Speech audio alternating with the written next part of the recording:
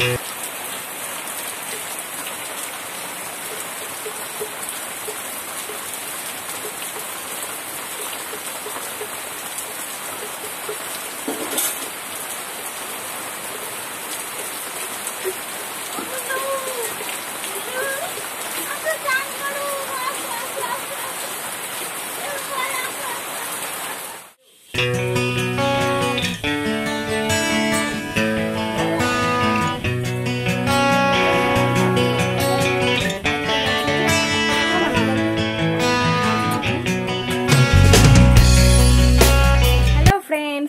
Welcome back to my channel আজকে হচ্ছে রবিবার। আর রবিবার এখন এগারোটা, সাড়ে এগারোটা থেকে আমি আমার ব্লগটা শুরু করছি। তোমরা সবাই নিশ্চয়ই ভালো আছো, আমিও খুব ভালো আছি। আর জানো, ভালো থাকার কারণ, কালকে কাগজগুলো সব পেয়ে গেছি, তোমরা তো শুনলে আগের ভিডিওতে। আর আমার অবস্থা থেকে বুঝতেই পারছ, কাজ করছিলাম। তাই ঘেমে নেই একাকার, আর গরমটা তো কম পড়েনি বলো প্রচণ্ড গরম। বৃষ্টি হচ্ছে, তাও যেন গরম পড়ছে না মানে গরম কমছে না। সমানে প্রত্যেক দিনই বিকেলবেলা দেখছি বৃষ্টি হচ্ছে, প্রত্যেক দিন এক দেড় ঘণ্টা করে বৃষ্টি হচ্ছে, তাও মানে গরম। যে সকাল হচ্ছে, রাতটুকু হয়তো হালকা গরম কমছে, আবার যেই সকাল হচ্ছে, আবার শুরু হয়ে যাচ্ছে এরকম গরম অবস্থা। আমাদের ব্রেকফাস্ট করা হয়ে গেছে, রুটি আর আলু চচ্চড়ি হয়েছে, ইন্দ্র আছে, দেরি করে এই একটু আগে এলো। ওকে রুটিটা দিলাম। আমি যে না, বেলা, প্রচুর বেলা হয়ে গেছে, তাহলে ভিডিওটা শুরু করা দরকার। কালকে বিকেল থেকে শুরু করেছি, কালকে সারাদিন তোমাদের কিছু দেখায়নি আর আচ্ছা চলো, ঘরের কাজগুলো সেরে নিই, আর কি কি রান্না বান্না হচ্ছে সেগুলো তোমাদের সঙ্গে শেয়ার করে দিচ্ছি। এখানে দেখো, আমি ঘরটা একটুখানি পরিষ্কার করে নিচ্ছি মানে ঘরটা ঝাঁট দিয়ে নিচ্ছি, ঘরটা ঝাঁট দিয়ে ঘর মুছে নেব। স্নান করতে যাব, স্নান করতে যাওয়ার আগে বা- গুল্লুকে স্নান করানোর আগে আমি ঘরটা সবসময় ঘর পরিষ্কার করে নিই। মানে ঘরটা ঝাঁট দিয়ে নিই আর ঘর মুছে নিই। এমনি সকালে তো বাসি ঘর ঝাঁট দেওয়া হয়েছেই। কিন্তু তারপরে যে রান্না বান্না হয়েছে, সবজি কাটা হয়েছে, তারপর তো ধরো ঘরটা নোংরা হয়ে গেছে। ওই জন্য ঘরগুলো ঝাঁট দিয়ে। এখানে দেখো গুল্লু জলের বোতল টোতল সব ফেলে রেখে দিয়েছে। ও ঘরে থাকলে আমাদের ঘরের অবস্থা আর কি হয় তোমরা তো ভালো করেই জানো। আর এইদিকে দেখো দিদি দুপুরের জন্য রান্না বসিয়ে দিয়েছে। দুপুরে যে খারকুল পাতা বাটা হচ্ছে এখানে দেখো দু তিনটে শুকনো লঙ্কা বা কাঁচা লঙ্কা দেওয়া হয়েছে খারকুল পাতার সঙ্গে। আগে খারকুল পাতাটা হালকা একটু ভাপিয়ে নিচ্ছে। আর এখানে বাটার জন্য নিয়েছে কালো জিরে আর রসুন। মানে এই খার সেদ্ধ করা খারকুল পাতাটার সঙ্গে এই কালো জিরে, রসুনটা বাটবে। আর এমনিতে তো ওর মধ্যে কাঁচা লঙ্কা দেওয়াই আছে। এবার এগুলো একসঙ্গে একটু ভালো করে বেটে নিতে হবে। পাতা কুচি থাকলে বাটতে একটুও কষ্ট হবে না। কিন্তু পাতাটা যদি একটুখানি কি বলব, বুড়ো হয়ে যায়, তাহলে কিন্তু মানে দু তিনবার বেট বাটতে হবে। নাহলে যদি পাতা কচি থাকে এখানে দেখো একবার বাটলেই একদম পুরো মিহি হয়ে যাচ্ছে। এ দেখো পাতাটা বাটা হয়ে গেছে এবার কড়াতে একটুখানি সর্ষের তেল দিয়ে দেবো দিয়ে ওই পাতা বাটাটা এর মধ্যে দিয়ে দিতে হবে। দিয়ে পরিমাণ মতো নুন সামান্য চিনি আর একটুখানি হলুদ দিয়ে ওই পাতাটা নাড়াচাড়া করে নিতে হবে যখন একদম একটু শুকনো শুকনো ভাব হয়ে আসবে। আর তোমরা চাইলে লেবু দিতে পারো মানে লেবু দিলে যদি লেবুটা দেবে যদি গলা চুলকোনোর সম্ভাবনা থাকে তাহলে এই লেবুটা দিলে আর গলাটা চুলকোবে না। একটু লেবু রস দিয়ে দেবে কয়েক ফোঁটা বেশি নয় কয়েক ফোঁটা।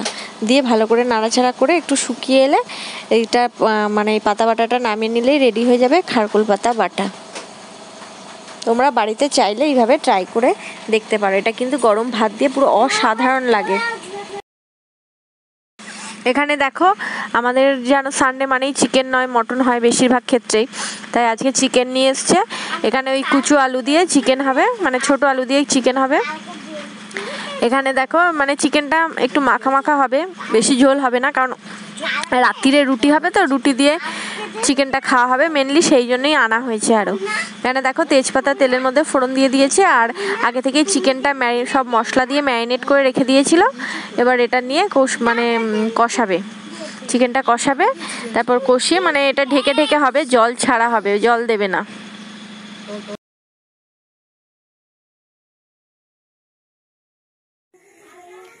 সেই দুপুরে তোমাদের সঙ্গে রান্না বান্না শেয়ার করেছি। আর কিছু মানে শেয়ার করা হয়নি। এখন প্রায় বাজে সন্ধে ছটা মতো বাজে। সন্ধে ছটা মতো বাজে কি বলব তোমাদের?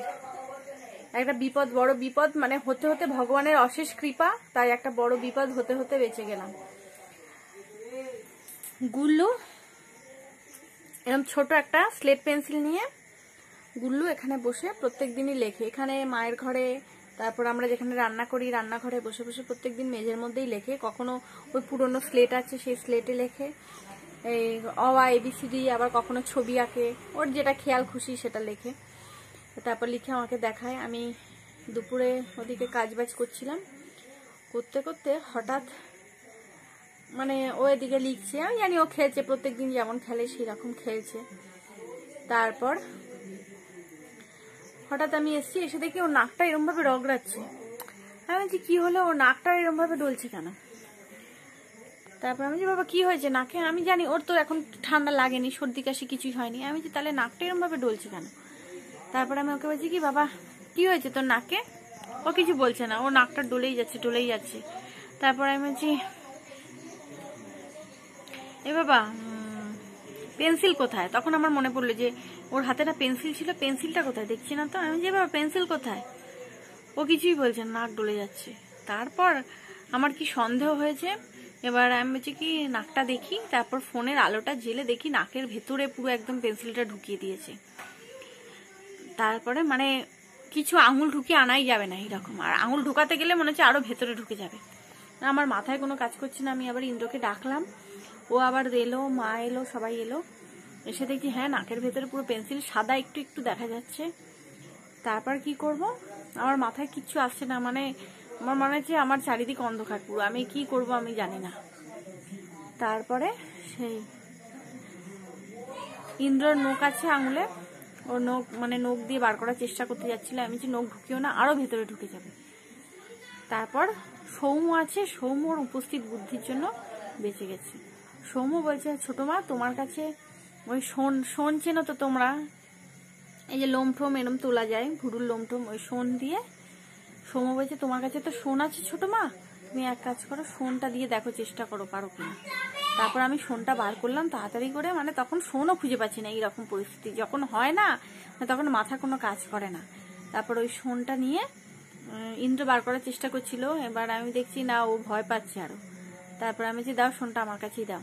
তারপর আমি শোন দিয়ে ভেতরে আস্তে আস্তে মানে ভেতরে ঢুকিয়ে সেই শোনটা দিয়ে ওই গুলুর নাক থেকে পেন্সিলটা বার করলাম। তুমি বলো, তোমরা বলো যে যদি ওই শোনটা না থাকতো কি হতো? মানে আমাদের মনে নিয়ে ছুটতে হতো ওকে। এইরকম পরিস্থিতি হয়েছিল। জানি না। তাই বাচ্চা কাচ্চা থাকলে তাই আজকে চোখে চোখে রাখছি। কি হবে কি হবে, কি জানি। এইরকম দুষ্টুমি করে।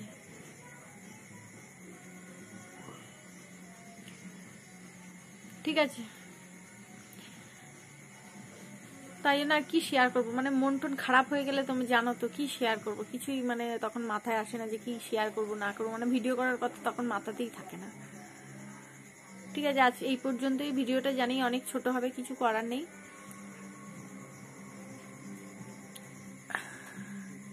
তোমাদের যদি আমার এই ভিডিওটা ভালো লাগে, অবশ্যই লাইক করে দিও শেয়ার করে দিও কমেন্ট করে দিও, আর সাবস্ক্রাইব করে দিও। আর তোমরা সবাই ভালো থেকো সুস্থ থেকো আর সাবধানে থেকো। বাই